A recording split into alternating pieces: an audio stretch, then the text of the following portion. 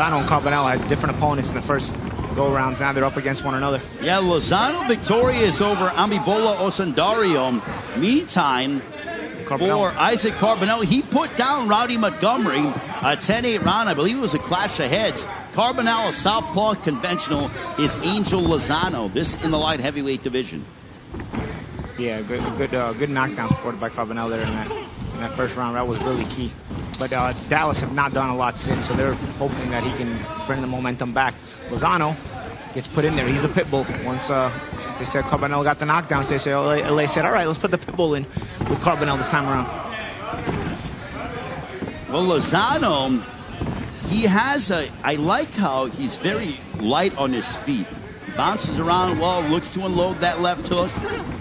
Sneaky right hand that landed. Carbonell looking to unload that left. And we have a three-point lead. Dallas won that round. Miranda took home that round. It's 105-102, three-point lead for L.A. Good left hand there by Carbonell. You see Lozano trying to put that pressure, trying to force the mistake Carbonell. Moving effectively, shooting that straight left hand off there. Good right hand by Angel Lozano. Yeah, that's the thing about Lozano. If you stand still long enough for him to start throwing punches, he will outwork you. You got to keep it moving. You got to work off that movement. He has trouble when you work off the movement but you got to be working off the movement. That's the key. Good, good one-one-two there by Carbonell. Yeah, there was a straight left that found its mark for Isaac Carbonell just over the midway point of the 12th round. It is week eight of Team Combat League. LA one and five on the season. Two and three is Dallas already. Atlanta and New York have clinched playoff spots.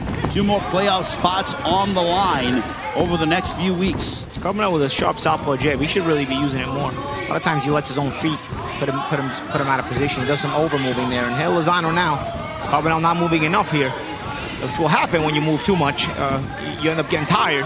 And Lozano starting to let those hands go. Good good defense there by Carbonell to keep his hands up. But again, it, it's the work Lozano is getting done there. Well, if you remember when Lozano took on Osundairo, he turned up the pace and turned up the heat in the second half of the round, and he's trying to do the same here against Isaac Carbonell.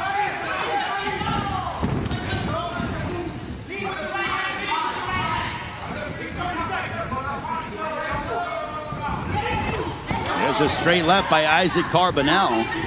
Yep. Carbonell has done terrific for Dallas. A two point swing in his first meeting against Rowdy Montgomery. And now, lo and behold, he is getting the better against Angel Lozano. And Carbonell very savvy the way he moved. Good counter shots there as well, using Lozano's effort against him. But there's been spots where Lozano's had the advantage through this round, so it's going to depend on who, what the round, what the judge is like. Well, Max, a little bit of back and forth at the end of that round there. Uh, quite an interesting, uh, interesting fight, Lozano and uh, Carbonell. I mean, it, it, was a tough call, really. I think if you had to give it give one, I think uh, Lozano actually pitched that at the end. Although, you know, I always say that you know Carbonell was complaining a lot. When a fighter complains, it's because he's losing, right? normally nine times out of ten. So he was complaining a couple, of, and then they gave off a bit of the mouth towards the end. Uh, well, after the bell rung, really. But for me, I think it was Lozano. I think he worked better. I think he was landing the cleaner shots. Although you know Carbonell did land a few uh, good, nice shots. But for me, I, I I'm going to say that uh, you know Lozano uh, was, was tipped it for me. Well, I'm going to sort of disagree with you here on this one. What, right? what a surprise! right, I, I felt uh, they was both giving as good as each other, um, and I just want to. I just think it's just going to be a draw on this one, and that's all I'm going to say about that one. It's, it's, it's, a draw. I think they're both good as each other, and they. Um, I don't think they outworked each other. I think they was just the same.